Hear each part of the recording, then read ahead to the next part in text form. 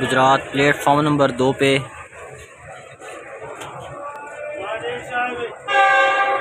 Speedy cross होगा।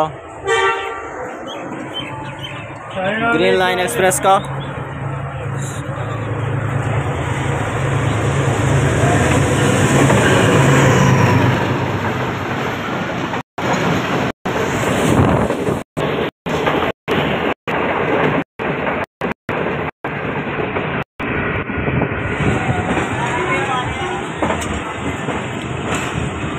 गुजरात से departure हो रहा है।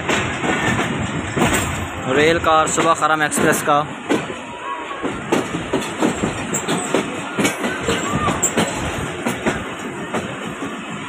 इंतहाई प्यारा व्यू।